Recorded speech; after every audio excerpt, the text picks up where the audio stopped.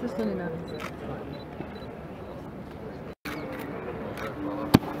Sorry.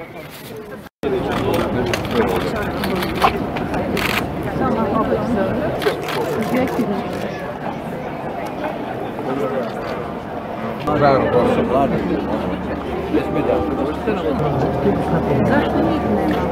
uzvate